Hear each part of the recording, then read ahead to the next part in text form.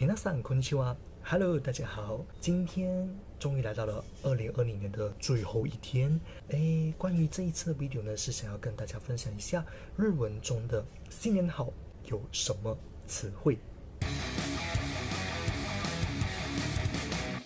那么，就有看日本综艺节目或者是连续剧的朋友们，都会听到这两个词：一是有以おとしを，第二是 あけましておめでとう。虽然这两个词都是包含着新年快乐的意思，不过它们的分别到底在哪里呢？分别就在于非常的清楚、很明确的分开这个，一个是。用在新年之前，一个是在新年之后，更明确的是在哪里呢？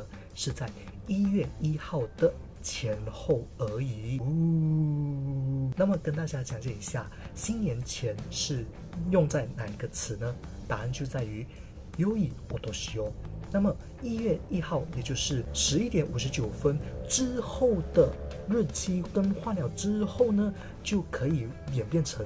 阿基玛西的欧美的多，那么就是这个样子的差别，各位有学到了吗？呜呼，在我看到这两个词的时候，就会突然间想到一个东西，那么就是这两个词能不能合并在一起用呢？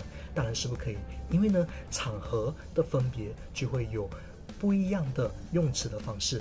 那么，呃，我就在想说，如果真的不能硬硬的在同一个场合用这个两个词呢，那么只有一个地方是可以用的，那就是。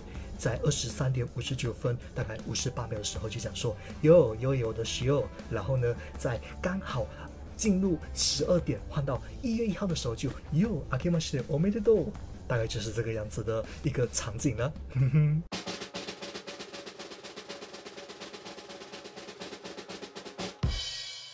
那么就再分享多一点点东西。通常在十二月三十一号的时候，就会看到很多。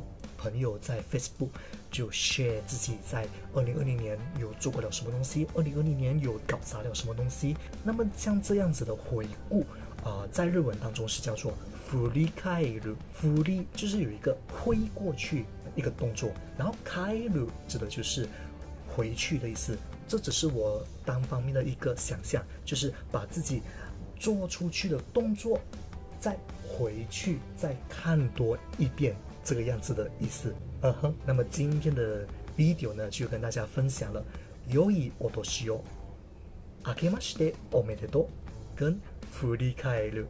那么各位有没有学到一些东西呢？希望是，啊哈，我就知道。虽然二零二零年并没有我们想象中的那么好，不过那么就希望二零二一年大家都可以 度过这非常振奋的一年。那么我们下次再见，拜拜。